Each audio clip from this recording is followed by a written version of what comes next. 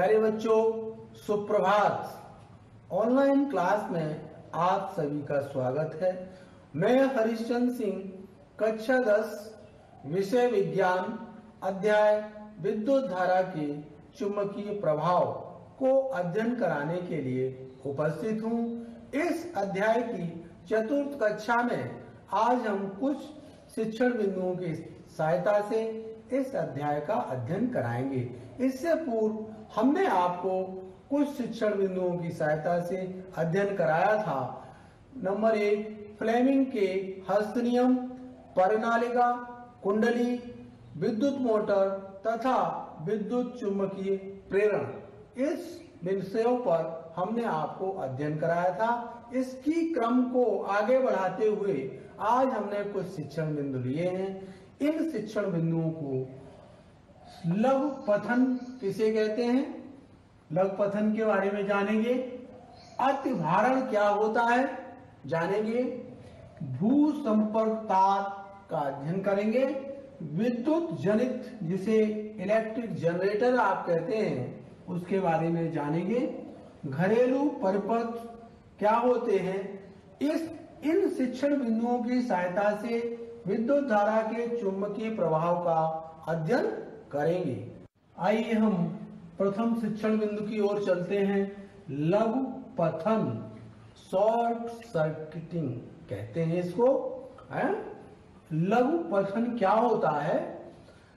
लघु पथन का अर्थ है, तार दो प्रकार के हैं यहाँ पे। एक है विद्युत मय तार और एक है उदासीन तार। विद्युत में तार विद्युत में तार का रंग लाल होता है, इस तरह का। ये विद्युत में तार है। ये विद्युत में तार, जिसमें विद्युत धारा प्रवाहित हो जाती है, वो विद्युत में तार होता है।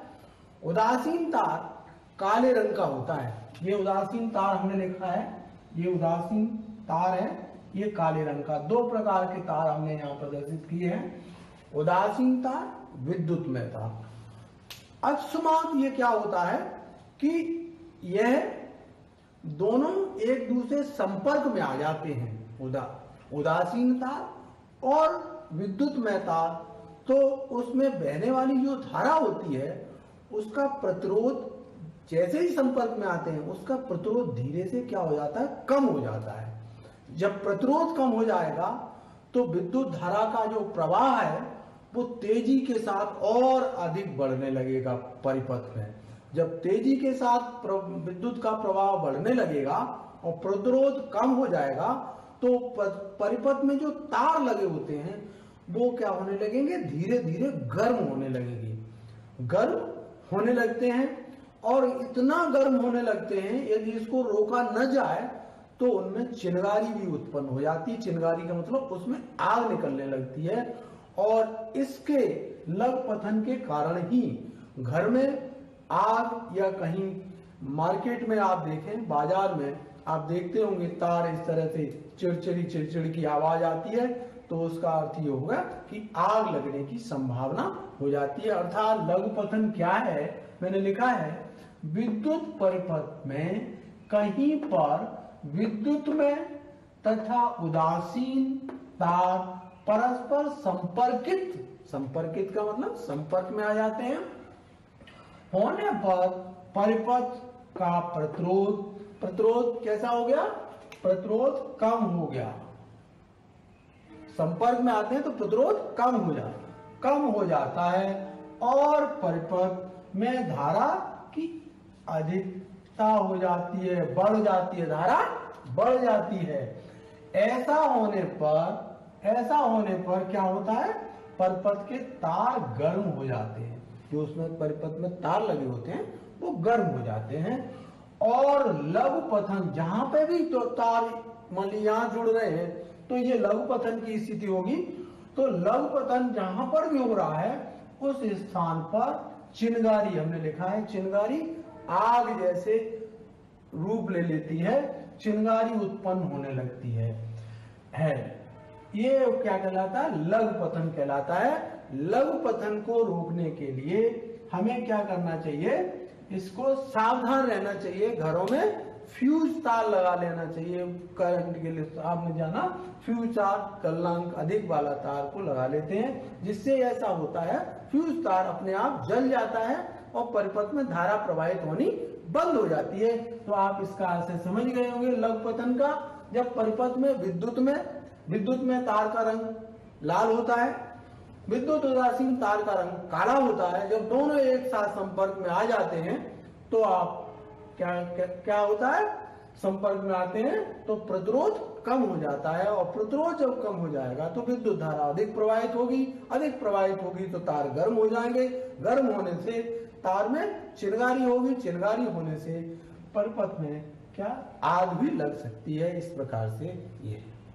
अब हम अगले शिक्षण बिंदु की ओर चलते हैं। अतिभारण। अतिभारण क्या होता है? इसका इंग्लिश वर्ड से सुनेंगे तो आप इसका अर्थ समझ जाएँगे। ओवर लोडिंग ओवरलोडिंग का आप अर्थ समझते हैं। ओवर शक्ति से ज़्यादा है ज़्यादा काम दे दिया जाए तो ओवरलोडिंग हो जाती है। ऐसे ही जब हम किसी काम को करते हैं तो एक्स्ट्रा काम दे देते हैं तो कहते हैं ओवरलोडिंग काम हो गया। ऐसे ही जब घर में परिपथ होता है, घर में बिजली के तार बिछाए जाते हैं तो घरों में तार बिछाने के लिए हम क्या करते हैं? सबसे पहले ये आकलन करते हैं कि हमारे घर में क्या क्या चीज़ें चलेंगी। तो उसी के अनुसार हम तारों को अपने परपथ को बिछाते हैं। तो ये आकलन किया जाता है कि घर में किस प्रकार के तार बिछाने चाहिए, जिससे विद्युत धारा आए तो आसानी के साथ सभी आपके जो यंत्र हैं, जो विद्युत के यंत्र हैं, वो सभी प्रकार से चल सकें। और यदि आपने तारों को साधारण बिछाया और उसमें आपने सभी चीज़ों को प्रयोग लगे तो क्या हो जाएगा? तार क्या हो जाएँगे? तार डिस्टर्ब हो जाएँगे, ब्लास्ट कर जाएँगे। तो क्यों हो जाएँगे? इसका कारण समझ क्यों हो जाएँगे? क्योंकि तार की कैपेसिटी इतने एम्पियर धारा को प्रवाहित करने की थी? आपने ज़्यादा तार बिजली प्रवाहित कर दी तो तारों में डिस्टरबेंस हो जाएगा। और तारों में क्या हो जाएगा? अति भारण हो जाएगा, उसमें ओवरलोडिंग हो जाएगी। एक एम्पियर की धारा प्रवाहित करनी थी, चार एम्पियर की धारा प्रवाहित कर दी तो क्या हो जाएगा? ओवरलोडिंग हो जाएगा। इस प्रकार से हम अपने घरों में परपथ को इस प्रकार से बिछाते हैं कि पहले उसका आकलन करें कि इतने एम्पियर की धारा, इतने एम्पियर की धारा से हमारे इस यंत्रों को आवश्यकता है। उसे हमने लिखा है, घर के परिपथ की वायरिंग। वायरिंग में तारों को बिछाना। वायरिंग करते समय सर्वप्रथम घर में होने वाली विद्युत ऊर्जा की खपत हमारे घर में कितनी विद्युत ऊर्जा की खपत है, उसका हम आकलन कर लेते हैं। खपत का आकलन किया जाता है। तब ऐसे वाहक तारों वाहक इसलिए लिखा विद्युत धारा को ले जाने का काम करते हैं, इसलिए वाहक तारों का उपयोग किया जाता है, जो घर के परिपथ में प्रवाहित होने वाली अधिकतम धारा बहन कर सके, उसमें अधिकतम धारा जा सके।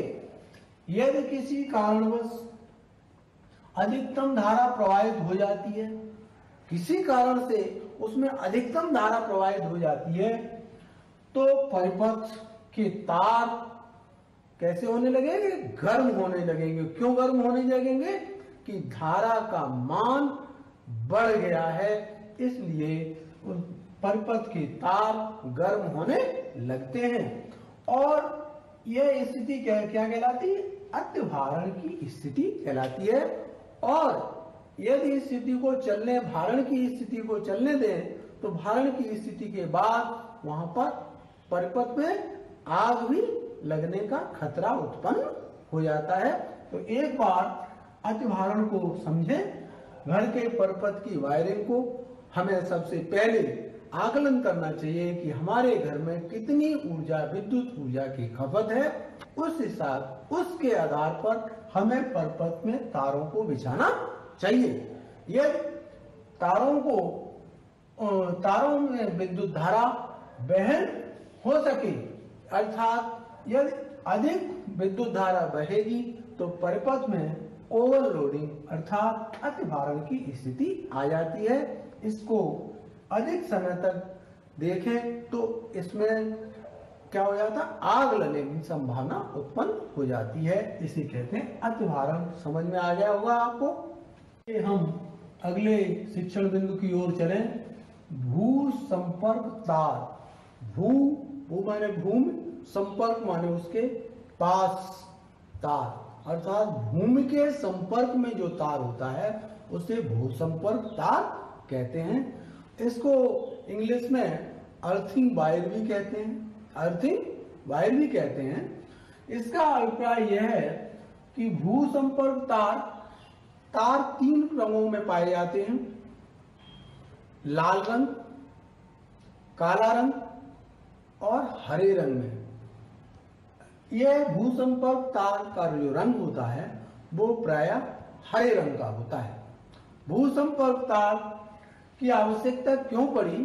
क्योंकि भूसंपर्क तार की आवश्यकता इसलिए है कि आपके घरों में विद्युत धारा का परिपथ होता है, सिस्टम होता है, उसमें यदि भूसंपर्क तार लगा है और किसी कार्य को आप विद्युत धारा के यंत्रों को आप चला रहे हैं, जैसे आप प्रेस कर रहे हैं, यदि आपको प्रेस के द्वारा आपके अंदर करंट प्रवाहित होता है तो भूसंपर्क तार क्या करता है? उस करंट को अपने अंदर ज़मीन में खींच लेता है और आपको विद्युत धारा का कोई प्रभाव नहीं पड़ता है। इसलिए भूसंपर्क तार को लगाना आवश्यक होता है। इसका रंग हरा होता है। हमने देखिए, कुछ लिखा है आपके लिए। यह हरे रंग का विद्युत रोधी आवरण है। विद्युत रोधी, विद्युत का असर नहीं होगा। यह एक सुरक्षा तार है, हमने बताया, ये आपकी क्या करता है, विद्युत रोधी तार?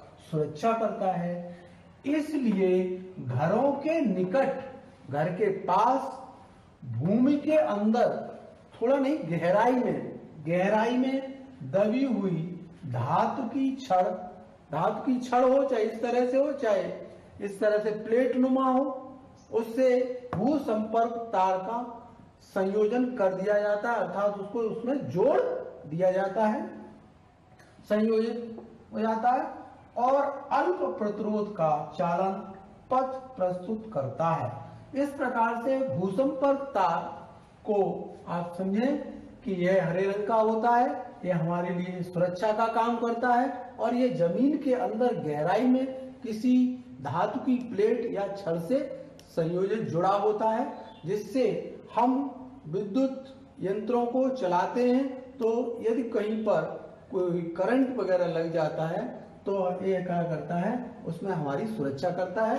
सपोज़ कर लें ये हमारा, ये पृथ्वी है, इस पर बहुत सारे पेड़ पौधे लगे होते हैं इस तरह से, ये लगे हुए हैं इस तरह से, इस तरह से, और यहीं पर हमारा क्या है यहीं पर हमारा घर है। तो घर में देखा होगा, इस तरह से ये हमने घर बना दिया आपका। ये घर है। ये घर ये घर है। घर में ये दरवाज़ा है आपका। और दरवाजे ये घर है, यहाँ पे विभिन्न प्रकार की विद्युत परिपथ लगे हुए हैं। तो यहाँ पर पृथ्वी के अंदर इस तरह से ये पृथ्वी का अंदर भाग है। पृथ्वी का भीतरी। ये पृथ्वी का भीतरी भाग है। यहाँ से एक तार को लाते हैं और इससे इसको क्या कर देते हैं? संयोजित कर देते हैं तार को। तो यहाँ पर प्रत्येक घरों में इसका होना आवश्यक है, जिससे इससे विद्युत धारा के कुप्रभाव से इससे बचा जा सके। इस प्रकार से हम इस सुसंपर्क तार का उपयोग करते हैं। विद्युत जनित इलेक्ट्रिक जनरेटर इसका क्या कार्य है? विद्युत जनित, इसको डायनमो भी कहते हैं। विद्युत जनित यांत्रिक ऊर्जा को विद्युत ऊर्जा में बदलता है। यांत्रिक ऊर्जा को विद्युत ऊर्जा में बदलता है। इसे डायनमो भी कहा जाता है। विद्युत जनित इस प्रकार की एक रचना है दो चुंबकीय, शक्तिशाली चुंबकीय क्षेत्र में। किसी आयताकार कुंडली को रखकर इसमें तेज़ी, इसका एक सिद्धांत है। ये विद्युत जनित का एक सिद्धांत है।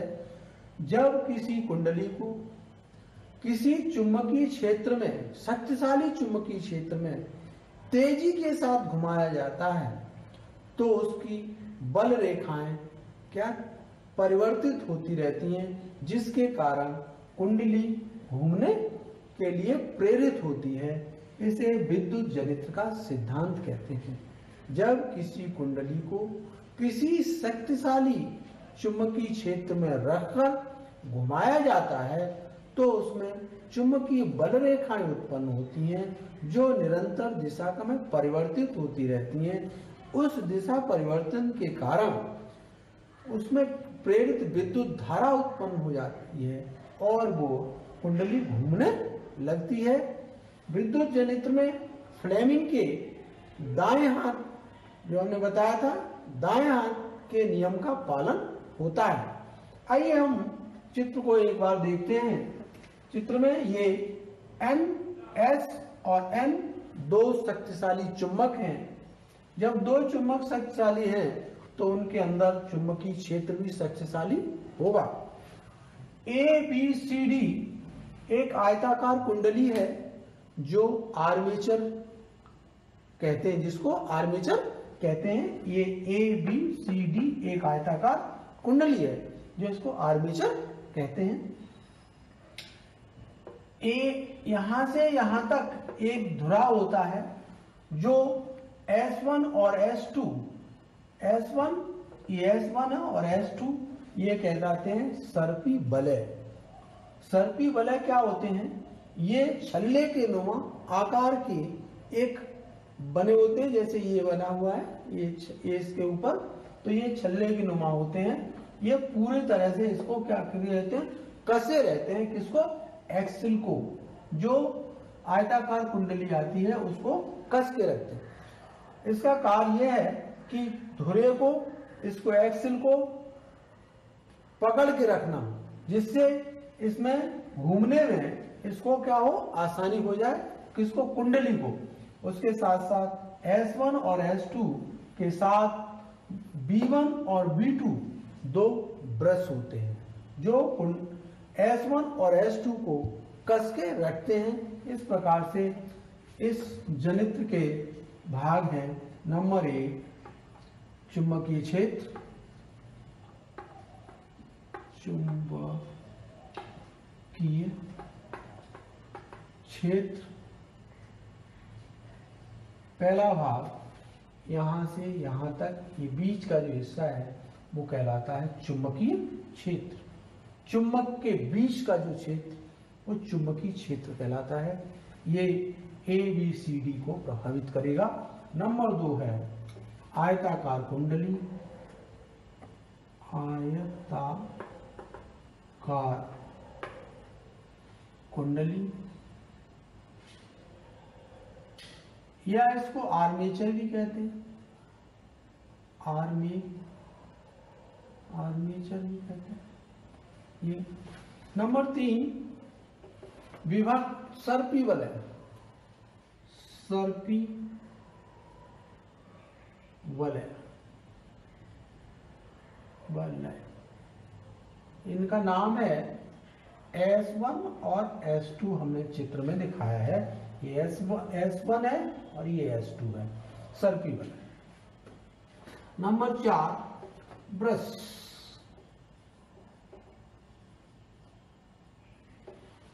ये विद्युत जनित्र के कुछ मुख्य भाग हैं जो हमने आपको लिखे। चुंबकीय क्षेत्र हमने अभी आपको बता दिया, चुंबक के अंदर जो रखा है कुंडली, उसमें चुंबकीय क्षेत्र उत्पन्न होगा। अब इसकी कार्य विधि देखिए क्या होती है।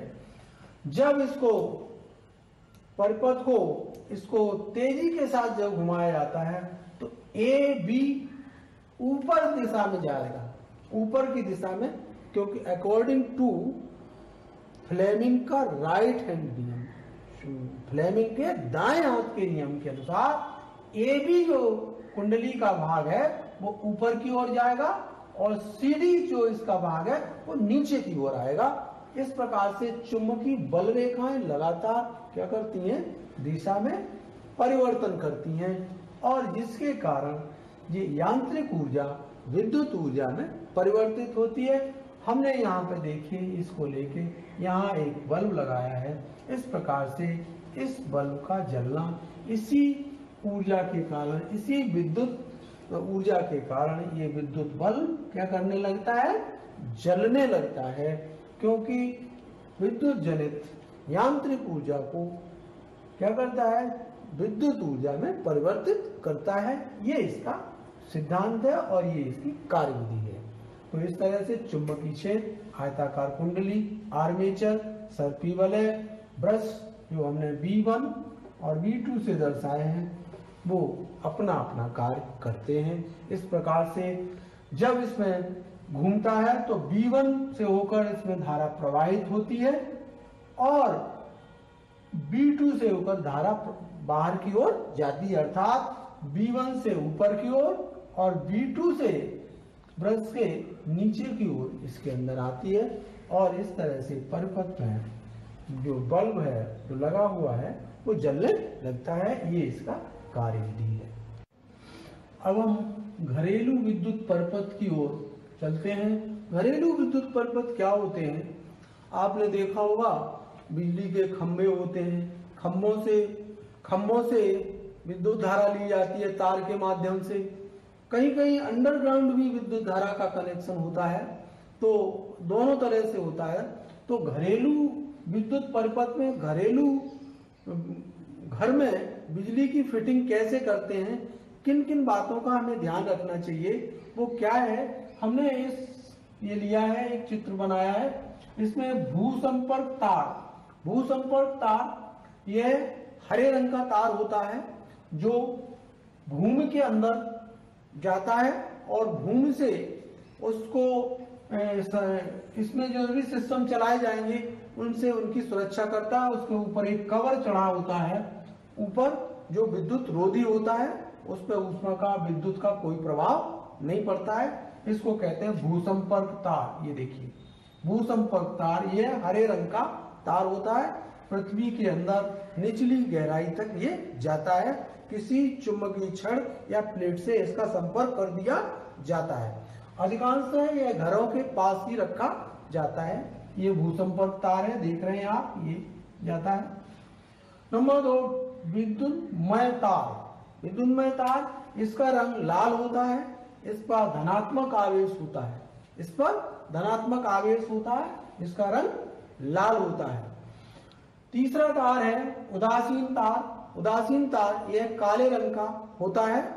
और अब ये तीनों इस प्रकार से चलते हैं कि विद्युत प्रदाय बोर्ड, विद्युत का एक बोर्ड होता है, घर में बोर्ड लगाते हैं। उसमें एक फ्यूज बोर्ड लगाते हैं फ्यूज लगाते हैं। यदि विद्युत धारा अधिक आती है तो वो फ्यूज तार फ्यूज जो लगा होता है, वो अपने आप गल के गिर जाता है। और विद्युत का जो आगे सप्लाई होनी है, वो सप्लाई बंद हो जाती है। ये विद्युत प्रदाय बोर्ड या फ्यूज का कार्य है। इसके बाद आगे की ओर देखें। विद्युत मीटर विद्युत मीटर सब तारों को उदासीन तार और विद्युतमय तार को मीटर में लाते हैं, विद्युत मापी में लाते हैं। उसमें क्या होता है कि हमारे घर में कितनी विद्युत ऊर्जा की खपत है, वो मीटर आपको उसकी रीडिंग बताता है। कि हमारे घर में विद्युत मीटर के साथ कितनी खपत हो रही है, ये रीडिंग बताएगा, ये सब लोग आप लोग जानते हैं। उसके बाद लगा होता है, विद्युत वितरण बॉक्स स्विच वहाँ पे स्विच भी लगे होते हैं, और एक बॉक्स लगा होता है, उसमें क्या करना है, उसमें क्या होता है कि विभिन्न प्रकार के, जैसे बिजली का पंखा चलाना है, बल्ब जलाना है, अन्य चीज़ें चलानी है तो उसका एक अलग स्विच बना होता है। इससे प्रेस भी चला सकते हैं आप प्रेस भी इससे चला सकते हैं। अधिकांश भारत में इन दोनों तारों के बीच 220 वोल्ट का जो धारा है, वो प्रवाहित की जाती है ये। अब ये इस तरह से हम बिजली का बल्ब, ये देखिए हमने जला के दिए हैं। और दूसरा स्विच अन्य उपकरणों का, जैसे जिस पे ज़्यादा लोड पड़ रहा है जो जैसे प्रेस करनी है, हैं? तो उसका स्विच हम अलग, कूलर चलाना है, उसका स्विच अलग लगा लेते हैं और उसको यहाँ से, इस प्रकार से मुख्य बॉक्स है, वहाँ से बिजली का बॉक्स के द्वारा बटन जिसे कहते हैं स्विच कहते हैं स्विच को दबाते हैं और वो आपका उपकरण चल जाता है। इस प्रकार से ये घरों में बिजली की जो फिटिंग की जाती है, उनको ध्यान में रखते हुए भूसंपर्क तार जो हरे रंग का होता है विद्युत तार जो लाल रंग का होता है, उसका उपयोग किया जाता है। उदासीन तार जो कैसे काले रंग का होता है, अब ये तीन, दोनों ही विद्युतमय तार और उदासीन तार आप देख रहे हैं कि यहाँ मीटर और मीटर के बाद बोर्ड पे जाते हैं और वहाँ से आगे बढ़ के ये दोनों एक साथ इकट्ठे हो जाते हैं, एकत्रित हो जाते हैं और उसके साथ विद्युत धारा प्रत्येक स्विच के अनुसार अलग अलग उपकरणों में अलग अलग स्विच के साथ प्रवाहित होने लगती है। स्विच को चलाने के लिए हमें विद्युत रोधी ग्लव्स पहनना चाहिए, भीगे हाथों से स्विच को नहीं पकड़ना चाहिए, ये इसका विशेष ध्यान रखना चाहिए। इस प्रकार से विद्युत परिपथ में विद्युत धारा का प्रवाह होता है। आज का ग्रह कार्य है लघु पथन से क्या तात्पर्य है? हमने आपको बताया था लघु पथन प्रश्न नंबर दो, अतिभारण किसे कहते हैं? प्रश्न नंबर तीन भू संपर्क तार क्या है? प्रश्न नंबर चार, विद्युत जनित्र का सिद्धांत क्या है? ये आपके प्रश्न हैं, गृह विज्ञान ग्रह कार्य के। इनको आप अच्छी तरह से करेंगे। आज हमने आपको जो अध्ययन कराया है, उसी के अंतर्गत इन प्रश्नों को लिया है हमने। आप आशा करते हैं, आप इस प्रश्नों को अच्छी तरह से हल कर देंगे।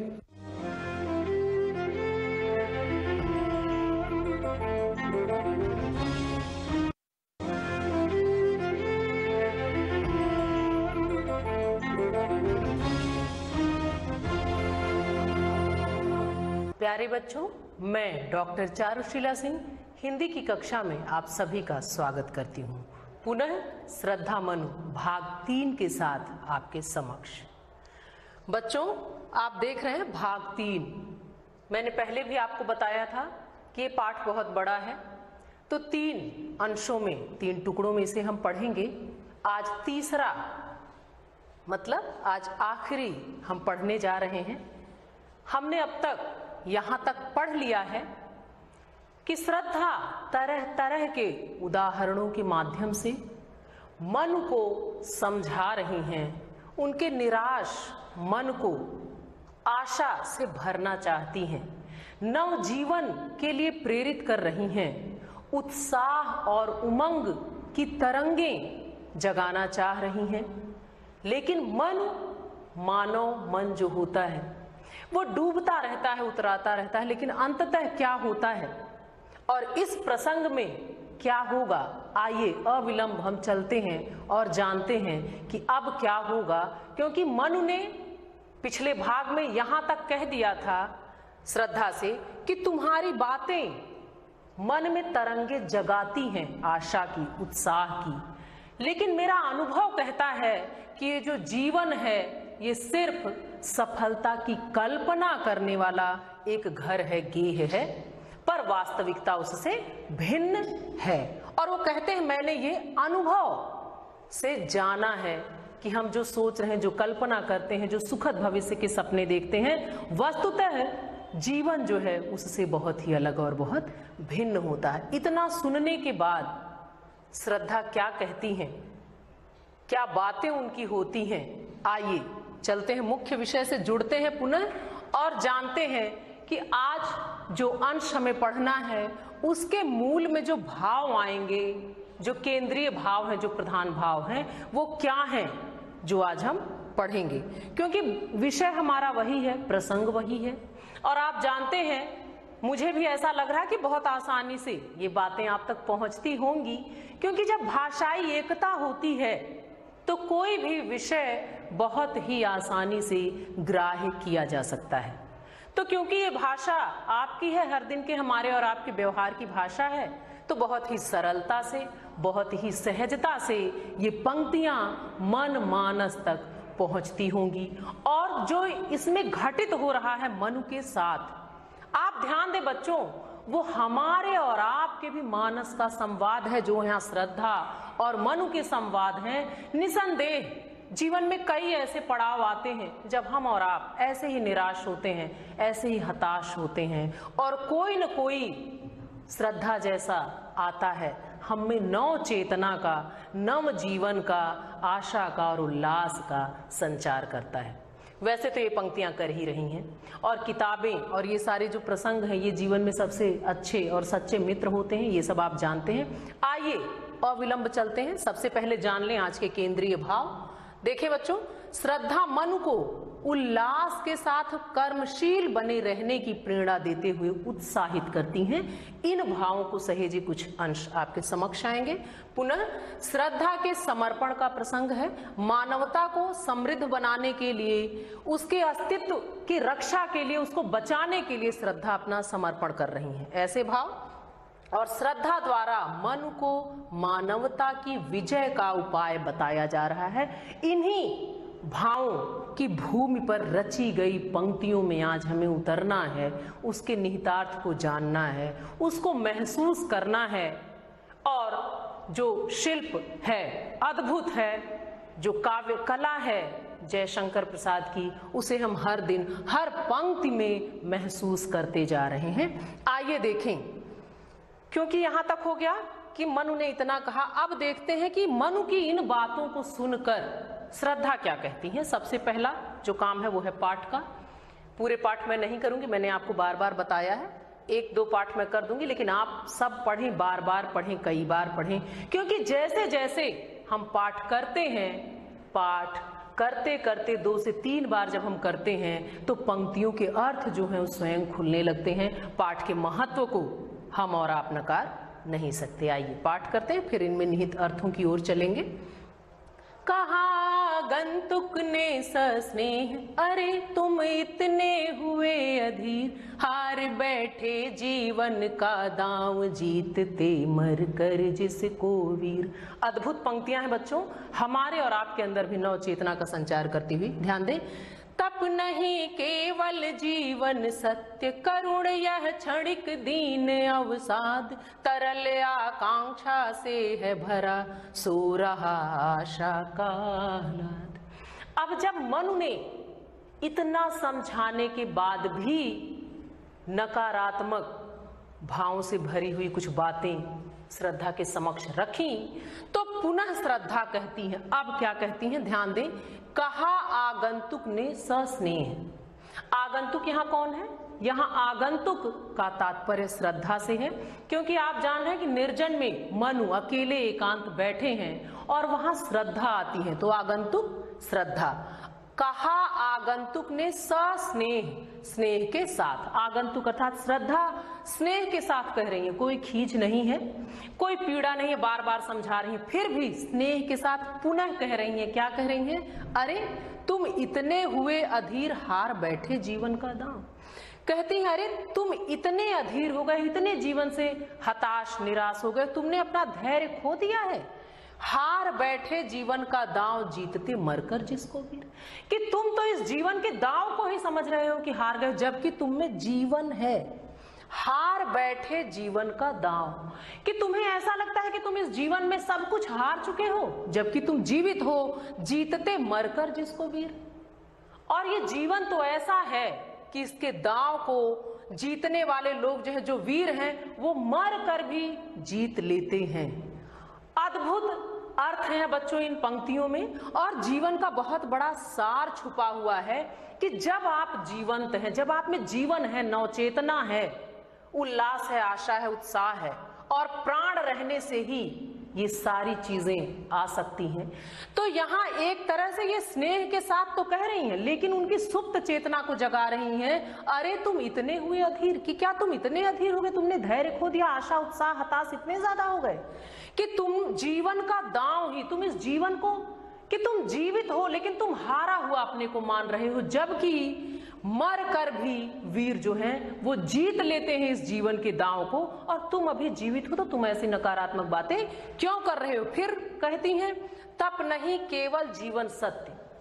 कि तुम, क्योंकि तपस्वी का वेश है तो उन्हें पहले भी उन्होंने तपस्वी कह के संबोधित किया है। कहती हैं, तप नहीं केवल जीवन सत्य। और कहती हैं कि सिर्फ़ तपस्या करना ही जीवन का सत्य सार या जीवन नहीं है। सिर्फ़ तपस्या ही नहीं, करुण यह क्षणिक दीन अवसाद। वो कह रही हैं कि ये जो दीनता है, जो दुख है, अवसाद है, जो करुणा के भाव, ये कैसे है? क्षणिक। ये क्षण भर के हैं। क्योंकि बच्चों, आप जानते हैं, जो मानव मनोभाव हैं वो पानी के बुलबुले की भांति होते हैं। कैसे होते हैं? बुलबुला आपने देखा है, वो बनता है और बिगड़ता है। मतलब वो अस्तित्व में आता है और तुरंत समाप्त हो जाता है। तो जो मानव मनोभाव है, यहाँ देखिए क्षणिक कहा गया। कि श्रद्धा कह रही है कि सिर्फ़ तपस्या करना ही जीवन का सार नहीं है, सत्य नहीं है। करुण यह क्षणिक दीन अवसाद, ये जो दीनता है, ये जो दुख है, ये जो हताशा है, जो अवसाद है, कष्ट है, ये कैसा है? ये करुणा के भाव कैसे ये क्षणिक है, क्षण भर के हैं। ये मानव मनोभावों की तरह हैं और ये फिर क्षणिक है, ये जाएँगे। क्षणिक कहने का मतलब ये थोड़े समय के लिए हैं। ये हट सकते हैं, बीत सकते हैं। अगर आप सोच लें, स्वयं में आशा का संचार आप स्वयं करना शुरू कर दें तो सारे नकारात्मक भाव स्वतः समाप्त होने लगते हैं। ऐसी बात, तरल आकांक्षा से है भरा, सो रहा आशा का आह्लाद। पुनः जगाती है, तरल आकांक्षा से, वो देखिए क्या कह रही है, तरल आकांक्षा। कि जो आकांक्षाएँ हैं, जो अभिलाषाएँ हैं, जो इच्छा है, वो कैसी है? ये तरल रूप में हमारे और आपके अंदर निहित होती है, भरी रहती है।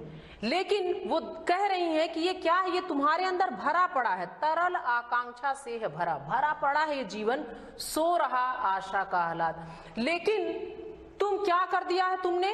कि आशा का जो आह्लाद है, जो खुशी है, जो प्रसन्नता है वो तुम्हारे अंदर सो रही है। तुम इसे जगने दो। तुम अपने अंदर के भय को हताशा को, निराशा को दूर जाने दो और नव जीवन का संचार होने दो। आगे आइए देखिए, ये भी अद्भुत भावों को स्वयं में समाहित किए पंक्तियाँ।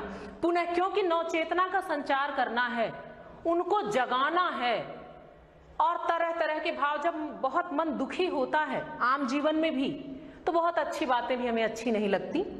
हम बड़ी सरलता से उन्हें समझ नहीं पाते। क्योंकि उस समय क्या होता है कि जो हमारा मानस होता है, जो मन है, जो हृदय हो बहुत कमज़ोर पड़ गया होता है, हताशा और निराशा में। लेकिन आप माने कि अगर एक बार आपने सकारात्मक तरीके से सोच लिया तो शारीरिक शक्ति भी जो होती है, वो नगण्य हो जाती है। आप अद्भुत, अविस्मरणीय कार्य भी कर लेते हैं, बड़ी ही सहजता से। क्योंकि सब कुछ जो होता है वो यहाँ हमने जो सोच लिया, जो बैठा लिया, वैसा ही सब कुछ दिखने लगता है। पुनः वो एक नवीन माध्यम से, एक नए उदाहरण से मनु में चेतना का संचार करना चाहती है। और आप देखिए, वो प्रकृति को माध्यम बना रहे हैं। कहती है, प्रकृति के यौवन का श्रृंगार करेंगे कभी नबासी फूल। वो कहते हैं, क्यों इस तरह निराश हो, हताश हो, मुरझाए हुए से दिख रहे हो? जो प्रकृति है, उसके प्राकृतिक सौंदर्य का, उसके यौवन का उसकी खूबसूरती का जो श्रृंगार है, वो कभी बासी फूल नहीं करते। क्यों? श्रृंगार के लिए। क्योंकि जो बासी फूल हैं, आप देखिए, वो कैसे होते हैं? उनमें सौंदर्य भी उसका फीका हो गया रहता है, वो मुरझाया हुआ रहता है, वो रसहीन होता है, वो गंधहीन भी हो जाता है। इसलिए वो बताना चाह रहे हैं कि मुरझाए हुए लोगों का कोई अस्तित्व नहीं है। तो उदाहरण देने की प्रकृति के यौवन का श्रृंगार कभी बासी फूल नहीं करते, वो खिले हुए जो मन को आकर्षित करते हैं। जो तन मन को अपनी सुगंध से खींचते हैं अपनी आभा अपनी सौंदर्य से आकर्षित करते हैं। ऐसे पुष्प प्रकृति की प्राकृतिक छटा का उसके यौवन का उसके जीवन का श्रृंगार करते हैं। मुरझाए और बासी लोगों का कहीं कोई अस्तित्व नहीं होता। और फिर उसी फूल के माध्यम से कहती हैं मिलेंगे वे जाकर अतिशीघ्र। आह उत्सुक है उनको धूल। कि ये जो बासी फूल है उनका अस्तित्व क्या है? उन, उनके साथ क्या होता है? मिलेंगे वे जाकर अतिशीघ्र। क्यों? बहुत ही जल्दी। जाकर मिलेंगे किससे? आह, उत्सुक है उनको धूल। वो धूल में मिलेंगे। उनका अस्तित्व यही है उन्हें धूल में मिल जाना है, वो कुछ कर नहीं सकते। इसलिए वो बार बार मन को जगा रही है। पुनः देखें, आगे वो क्या कहती हैं? फिर उनको जगाने का ही प्रयास कर रही हैं। एक तुम, यह विस्तृत भूखंड। प्रकृति वैभव से भरा अमन कहते हैं, तुम एक हो, अकेले हो, और यह विस्तृत, ये संपूर्ण, जहाँ वो बैठे हैं, पूरे को, कि ये पूरा विस्तृत भूखंड पृथ्वी का टुकड़ा इतना बड़ा सा है, और एक अकेले तुम हो, प्रकृति वैभव से भरा मन। और जो ये प्राकृतिक संपदा, ये वैभव दिख रहा है, ये कैसा है? अमंद। कभी जो फीका ना पड़े, वो होता है अमंद। तो कहते हैं कि प्रकृति, वैभवशाली प्रकृति जो है, अपने संपूर्ण सौंदर्य के साथ, ऐसे सौंदर्य के साथ जो कभी फीका नहीं पड़ेगा, उससे ये सारा भूखंड, ये पूरी प्रकृति भरी पड़ी है और भोगने वाले एक तुम हो। कर्म का भोग भोग का कर्म, यही जड़ चेतन का वो कहते हैं कि कर्म, जो पूर्व में हमने कर्म किए हैं, अच्छे कर्म किए हैं, उन संचित पुण्यों के कारण ही हम पृथ्वी के सुखों का भोग करते हैं। कर्म का भोग, पूर्व में संचित जो कर्म है, उसके कारण हम पृथ्वी के सुख का भोग करते हैं। भोग का कर्म। और भोगते हुए जो अच्छे हम कर्म करते हैं, वो फिर पुनः आगे हमें भोगना रहता है। यही भारतीय संस्कृति का मूल है। यही सीख हमें अपनी संस्कृति से मिली है। यही जड़ चेतन का आनंद। कि आप कर्म करते रहें, आप सोचे नहीं, आप बीत रागी होकर, बिना किसी बात को मन में लाए हुए, बस निश्चिंत होकर, मानवता की कल्याण के लिए कर्म करते जाएँ। और फिर वो कहते हैं, यही जड़ चेतन का आनंद। कि ये जो वृक्ष हैं। ये जो प्राकृतिक संपदा, ये भी यही कर रही है। यही जड़ चेतन का आनंद। कि ये जो जड़ है, जो वृक्ष है, वो भी मनुष्यों की भांति चैतन्य होकर सिर्फ़ आनंद का प्रसार कर रहे हैं, सुगंध दे रहे हैं, पुष्प दे रहे हैं, फल दे रहे हैं, फूल दे रहे हैं। आखिर क्या आशा करते हो आपसे वो मनुष्यों की भांति ही अपना वैभव, अपने पास जो है वो उन्मुक्त होकर लुटा रहे हैं। तो वो आगाह करते फिर तुम इतने मुरझाए, इतने सूखे, इतने निराश, इतने हताश क्यों हो? आगे फिर, अकेले तुम कैसे असहाय यजन कर सकते? तुच्छ विचार। कहते हैं कि अगर तुम मान रहे हो, अकेले तुम कैसे असहाय? कि तुम तुम अकेले हो और अपने को असहाय मान रहे हो। अकेले तुम कैसे असहाय? कैसे तुम असहाय हो? और अगर मान रहे हो, यजन कर सकते तो क्या तुम भूत यज्ञ, यजन, अर्थात भूत यज्ञ क्या तुम कर सकते हो? मानवता के कल्याण के लिए। यहाँ वंश वृद्धि की बात की गई है। वो ये कहना चाह रही है कि अकेले तुम कैसे असहाय? कि अगर तुम मानते हो तुम अकेले हो और असहाय हो तो तुम यजन कैसे कर सकते हो? क्योंकि जो भूत यज्ञ होना है आप जानते हैं कि सृष्टि के संचालन के लिए स्त्री और पुरुष ये दो शक्तियाँ होती हैं। तो यहाँ वही वो बात कहती है, क्या तुम कर सकते हो तुच्छ विचार? और तुम्हारे अंदर ये तुच्छ, ये छोटी गिरी हुई बात कैसे आ गई कि तुम अकेले और असहाय हो? यहाँ अब श्रद्धा अपना समर्पण भाव भी ज़ाहिर करेंगी। फिर देखिए, संबोधित करते हैं तपस्वी। संबोधन का चिन्ह, तपस्वी आकर्षण से हीन कर सके नहीं आत्म विस्तार और तब, अब एक तरह से देखिए, फिर उन्हें चुभने वाली बात, लेकिन स्नेह के साथ सारी बातें करिए वो चाह रहे कि हर प्रकार से वो मन के मन को जगा दें, उसमें नव चेतना का संचार, आशा का संचार कर दें। कहते हैं, तपस्वी तुम आकर्षण से हीन कर सके, नहीं आत्मविस्तार। कि तुम तो आकर्षण से हीन हो गए हो, और जो व्यक्ति अपने अंदर आशा नहीं रखता, उत्साह, उमंग नहीं रखता, उससे कोई भी आकर्षित नहीं होता। जैसे पुष्प ही जो खिले हैं, वो आकर्षित करते हैं, जो मुरझाए हैं, वो नहीं। तो कहती है, हे तपस्वी, तुम तो आकर्षण से हीन हो गए हो। क्यों? कर सके नहीं आत्मविस्तार। तुमने अपना आत्मविस्तार किया ही नहीं। तुम आत्म केंद्रित हो गए हो। जबकि जो हमारी संस्कृति है, वो ये सिखाती है कि परमार्थ के लिए, दूसरे के लिए अपना जीवन भी समर्पित कर दे, चाहे वो कर्म है चाहे अपना धर्म है, जो हमारी संस्कृति के मूल में है, जो हमें सिखाया जाता है बार बार बताया जाता है, समझाया जाता है, वो यही है कि परमार्थ दूसरे के अर्थ में अपने आप को निहित कर दें, अपने आप को लगा दे। तो वो कहती है कि तुम तो आत्म विस्तार कर ही नहीं सके, तुम आत्म केंद्रित हो गए हो। इसलिए इतने नकारात्मक भाव तुम में आ गए हैं। आइए आगे चले। अब देखिए वो क्या करती हैं। अब वो स्वयं का समर्पण कर रही हैं और कहती हैं, समर्पण लो सेवा का सार, सजल संस्कृति का यह पतवार।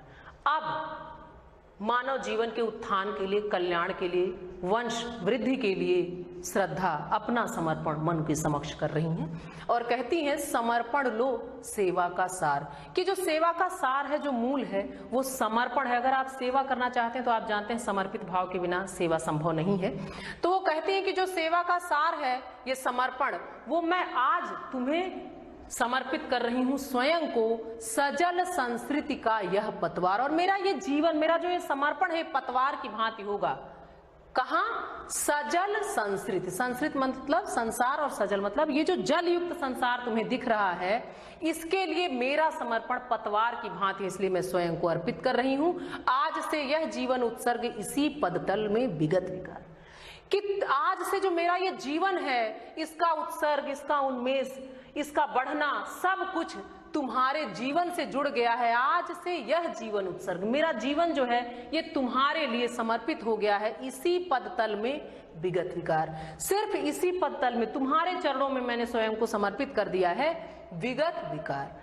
कि जो तुम्हारे विकार थे, जो परेशानियाँ, जो चिंता, जो भी तुम्हारे अंदर के विकार थे, बुराइयाँ थी, उसको भुलाकर मैंने स्वयं को तुम में समर्पित कर दिया। बनो संस्कृति के मूल रहस्य तुम्ही से फैलेगी वह बेल और फिर वो कहती हैं कि तुमने जीवन मरण के बहुत से रहस्यों को जान लिया है तो फिर कहती है, बनो संस्कृति के मूल रहस्य। संस्कृति यानी संसार के जो मूल रहस्य हैं, वो तुम बन सकते हो, तुम बन जाओ तुम ही से फैलेगी वह बेल क्योंकि ये जो बेल है, वंश वृद्धि की, इस संसार को पुनः निरंतरता में बनाए रखने की, वो तुम्हारे ही द्वारा होना सुनिश्चित है। विश्व भर सौरभ से भर जाए सुमन के खेलो सुंदर खेल। कहते हैं कि जो संपूर्ण संसार विश्व भर सौरभ से भर जाए, ये सुगंधित हो जाए। किससे? ये किससे सुगंध क्योंकि निर्जन है सब कुछ। और अब दो लोग आ गए हैं। तो ये अपना समर्पण कर रही हैं, स्वयं में मन को रमण करने के लिए आमंत्रित कर रही हैं मानव सभ्यता के उत्थान के लिए, मानव के कल्याण के लिए। ये वंश वृद्धि की बात कह रही हैं तो फिर कहती हैं, विश्व जो है ये, विश्व संपूर्ण, सुगंधित हो जाए। ये सौरभ से पुनः भर जाए, लेकिन कैसे भरेगा? सुमन के खेलो सुंदर खेल। सुमन, यानी यहाँ वंश के लिए, मानव के लिए प्रयुक्त है कि तुम वो सुंदर खेल खेलो जिसके माध्यम से ये जो संपूर्ण संसार है, ये सुमन के सौरभ से सुगंध से भर जाए, पुनः ये सृष्टि संचालित हो जाए। आगे देखें। और वो देखे फिर क्या कह रही है? बार बार वो उनको समझा रही हैं, जगा रही हैं। और यह क्या तुम सुनते नहीं विधाता का मंगल वरदान फिर कहती हैं, क्या तुम सुनते नहीं हो कि विधाता का ये मंगलमयी, कल्याणकारी, उत्थानकारी वरदान है? क्या है? शक्तिशाली हो, विजयी बनो। कि तुम शक्ति के सागर हो, शक्तिशाली हो तो तुम ही विजयी बन सकते हो, इसलिए तुम आगे बढ़ो, विश्व में गूंज रहा जयगान। वो कहती हैं कि संपूर्ण संसार में विश्व में यही जयगान गूंज रहा है कि जो शक्ति रखता है, वो विजयी बनता है। इसलिए तुम विधाता के इस मंगलमयी वरदान को सुनो और आगे बढ़ो। किस लिए? मानव के कल्याण के लिए, उसके उत्थान के लिए, नव जीवन के लिए। श्रद्धा आमंत्रित कर रही हैं मनु को। फिर कहती है, डरो मत, अरे अमृत संतान अग्रसर है मंगल में वृद्धि। वो कहती है कि मंगलमयी जो वृद्धि है कल्याणकारी, वो अग्रसर है, वो आगे है तुम्हारे। इसलिए डरो मत, अमृत संतान। हे देव संतान, हे अमृत संतान, तुम बिल्कुल मत डरो, क्योंकि मंगलमयी कल्याणकारी उत्थान अग्रसर है, आगे बढ़ चुकी है। पूर्ण आकर्षण जीवन केंद्र खींची आवेगी सकल समेत। वो कहते हैं कि जो जीवन है, जीवन का जो केंद्र है, वो आकर्षण से उल्लास से भरा हुआ है, सौंदर्य से भरा है। तो जब एक बार तुम जीवंतता महसूस करने लगोगे, खींची आवेगी सकल समृद्धि। तो ये संपूर्ण, जो संसार में इतना वैभव है, वो स्वयं इस जीवन के केंद्र में आकर्षित होकर खींचकर तुम्हारे पास स्वयं चला आएगा। आगे देखिए, फिर कहती हैं, विधाता की कल्याणी सृष्टि सफल हो इस भूतल पर पूर्ण। कहते हैं कि विधाता की जो कल्याण मई, जो कल्याणी सृष्टि है, यानी जो मानव है, मानव को कहा गया, उसको श्रेष्ठ माना गया, कि इस सृष्टि में जो कल्याणकारी है, वो यही मानव है, जो विश्व कल्याण की भावना से जीते हैं। तो कहते हैं, जो, उनकी मंगलमयी सृष्टि है, कल्याणी सृष्टि है, उसको सफल करने के लिए आओ इस भूतल को फिर से पूर्णता और आह्लाद से भर दो। पटे सागर बिखरे ग्रहपुंज जिससे जो ये सागर है, जो बिखरा पड़ा है, पट जाएगा। जब मानव हो जाएँगे। जब वंश बढ़ जाएगा, जब लोग हो जाएँगे, जब शक्ति अर्जित कर लोगे, आशा और उत्साह से भर जाओगे तो एक दिन ऐसा आएगा कि सागर पट जाएगा और जो हमारे चारों तरफ़ ग्रह पुंज बिखरे पड़े हैं, वो हमारे लिए अनुकूल हो जाएँगे और ज्वालामुखियाँ हो चूर्ण। और जो ये विनाशकारी ज्वालाएँ हैं, ये चूर्ण हो जाएँगी, ये समाप्त हो जाएँगी, उन्हें चिनगारी सदृश सदर्प कुचलती रहे खड़ी। सानंद, बहुत बड़ी बात। कि बच्चों, देखिए कि संपूर्ण सृष्टि में क्या होता है कि कौन ये मानव ही है जो कभी कितना भी टूट जाए, कितना भी हार जाए, पुनः नवचेतना भरकर खड़ा होता है साहस के साथ। तो कहती हैं कि एक बार जब तुम डर छोड़कर आगे बढ़ोगे तो ये सब कल्याण होगा। उन्हें चिनगारी सदैव सदैव कुचलती रहे खड़ी सानंद की। जो मानवता हो आनंद के साथ, सभी परेशानियों को चिनगारी की भांत अपने पैरों तले कुचल देगी। इस तरह का साहस वो भर रही हैं। आज से मानवता की कीर्ति अनिल भूजल में रहे न बंद। और कहती हैं कि तुम आओ। अब मैं तुम्हारे समक्ष मैंने समर्पण कर दिया है तो आओ और ताकि इसका जो आनंद हो, संपूर्ण विश्व महसूस कर सके। ये मानवता की जो कीर्ति है, जो उसका यशोगान है, वो अनिल अर्थात हवा। भू मतलब पृथ्वी धरती और जल, कि हवा में, जल में और इस पृथ्वी पर कहीं भी मानव की कीर्ति बंद ना हो, वो फैलती रहे, लोग जानते रहे। आगे आइए, फिर क्या कहती हैं? पाठ लंबा है, लेकिन बहुत सहज है, क्योंकि भाषाई एकता है। तो देखिए क्या कहती हैं? जलध के फूटे कितने उत्स द्वीप कच्छप डूबे उतराए। वो कहते हैं, अभी जो प्रलय हुआ, उसमें आपने देखा, महसूस किया, कि जलध यानी समुद्र के कितने सारे स्रोत फूटे, इतने सोते निकल पड़े एक साथ कि सारे द्वीप और जितने कछुए वगैरह थे, सब डूबने, उतराने लगे, सब परेशान हो गए। लेकिन किंतु वह खड़ी रहे दृढ़ मूर्ति अभ्युदय का कर रही उपाय फिर भी अपने को और मन को कह रही है वो कि जब वो इतने उत्स फूट गए, इतने स्रोत निकले तो सब जीव जो है वो एकदम परेशान हो गए। सारे द्वीप पूरा संसार और जितने कच्छप वगैरह थे सब। लेकिन किंतु वह खड़ी रहे दृढ़ पर दृढ़ मूर्ति की भांति, बिना डगमगाए, बिना निराश हुए, कौन खड़ा रहा? मानव कौन? मन। श्रद्धा। वो कह रही है, अभ्युदय का कर रही उपाय। और ये जो मानव ही है, वो दृढ़ होकर सब देखता है और पुनः आशा भर कर पुनः एक नवीन उत्थान के उपाय सोचने लगता है। यही मानव कहलाता है। आइए ये अंतिम अंश हमारे और आपके समक्ष। अब क्या कह रही हैं? शक्ति के विद्युत कण जो व्यस्त विकल बिखरे हैं, हो निरुपाय, समन्वय उसका करे समस्त विजयनी मानवता हो जाए। वो कहते हैं जो शक्ति के विद्युत कण हैं वो हर तरफ़ जो व्यस्त विकल बिखरे हैं हुन, जो हर तरफ़ बिखरे हैं, फैले हैं, चाहे प्रकृति को लें, प्रकृति के बहुत सारे, ये सारे आपको पता ही है कि विद्युत कणों से ये शक्ति के कणों से ये सब बिखरे हैं और इनसे ही मिलकर बनी है ये सृष्टि। और अपने को और मन को भी वो प्रकारांतर से ले रही हैं और कहती हैं कि शक्ति के विद्युत कण जो व्यस्त हैं जो इधर उधर बिखरे हैं निरुपाय जिनका कोई उपयोग नहीं है वो निरुपाय होकर बिखरे हो कुछ नहीं कर सकते। तो, आप क्या करें? मनु से कहती हैं समन्वय उसका करे समस्त विजयनी मानवता हो जाए।